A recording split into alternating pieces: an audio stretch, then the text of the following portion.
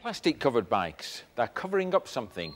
Naked bikes, they're not. And what is that thing? It's the engine, of course. And in those engines, we've got single overhead cam, four cylinders, double overhead cam, all sorts of configurations. But what does that all mean?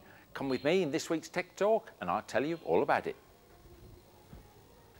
Okay, well I'm going to demonstrate it on this old CB754 engine down here, going back a few years now, but it does to serve its purpose.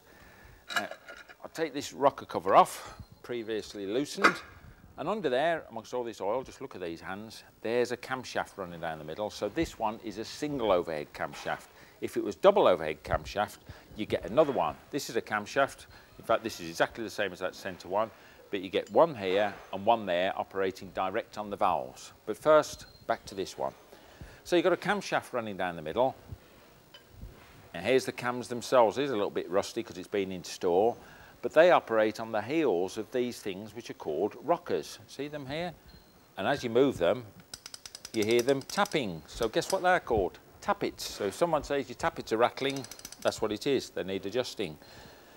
I've got a rocker assembly here because these just bolt onto the head and you can see the rockers themselves and you can see why they're called rockers. Cam lifts that bit, presses down that bit, opens the valves, but we'll come to valves in a while.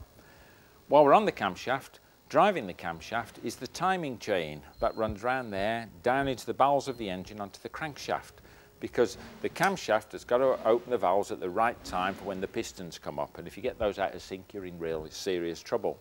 So if something else you'll hear people say that sounds like timing chain rattle to me, that means that that timing chain is a bit loose or a bit worn or the cam, cam chain tensioner is faulty and so it's slapping that bounce a bit. That can be a very expensive job because as you can see, it's buried inside the engine. So valves, we said. What have we got? Well, I've got a nice little range for you here. First off, we'll start off this one. This is a two valve head. And as you can see, there's actually eight in there, but by two valve heads, we mean two valves per cylinder. So there they are, stuck in the cylinder head. If we turn this one over, we can actually see it's got its two camshafts still in. So this is that double overhead camshaft I spoke about. Remember, there was the old single one. This is two. They're operating directly on the valves. And see what they save? They save having this rocker assembly. So they lose a lot of the reciprocating weight, as it's called, and speed up the whole valve train, and you actually lose a lot of that mass flying around. So let's just turn that one over. A hose clip drops off.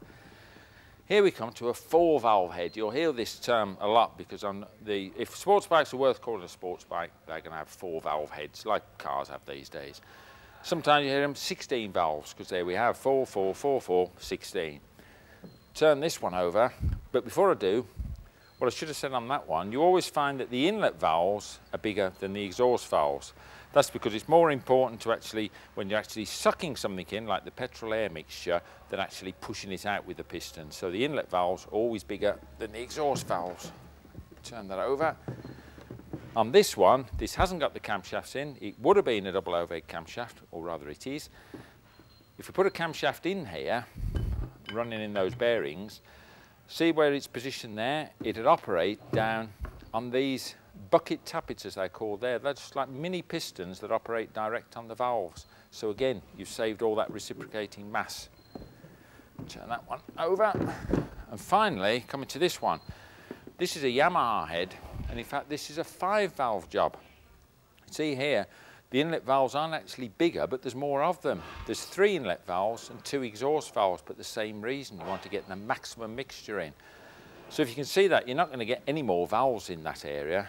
Not much point turning this over because the cams are in, double overhead cams there, but they're operating those through bucket um, tappets again.